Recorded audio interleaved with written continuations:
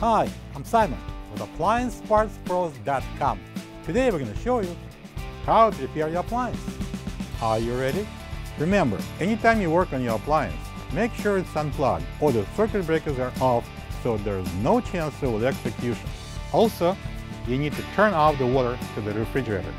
In this video, we'll show you how to replace the water inlet valve in an LG refrigerator.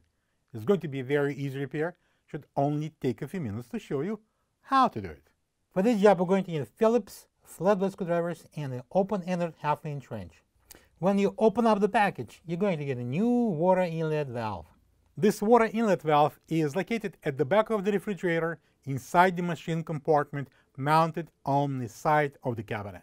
It provides water to the ice maker and the water dispenser on demand.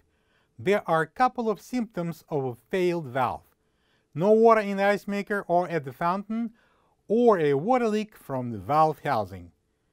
If you run into any of these problems, check and replace the water inlet valve. Here we are at the back of the fridge and uh, this is the water inlet valve that we are going to replace. I'm going to start with placing the towel underneath and then I'm going to use a half inch open-ended wrench and I'm going to take off this uh, water inlet line. Before undoing it, make sure that you turn off the water. And I'm going to turn it counterclockwise and uh, put it aside. I'm going to keep the towel still there. Next I'm going to take out these uh, Phillips screws that hold this rear access panel. I'm using a Phillips screwdriver and we're going to take them all out.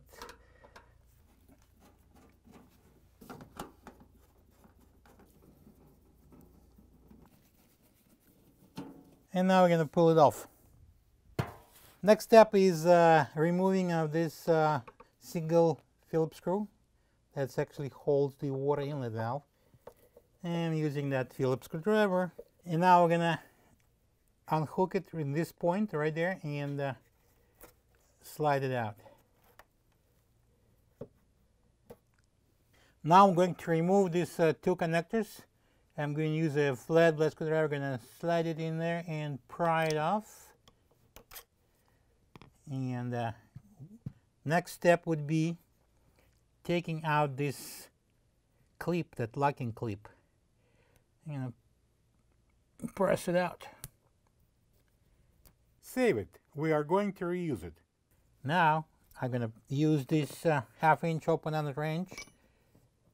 I'm going to press down on the locking collar here and I'm going to pull out the water line. All right. This is the old water inlet valve next to the new one. If you don't have this part, you can get it from appliancepartspros.com. Alright, so we're going to install this uh, valve in and I'm going to start with placing that uh, locking ring on under this uh, collar. slide it in. It will uh, prevent the accidental release from of the water line. Now I'm going to press it in, insert it, and push it in all the way as far as goes. Right now, turn it over and uh, I'm going to install this uh, uh, terminals. It doesn't matter which one goes where.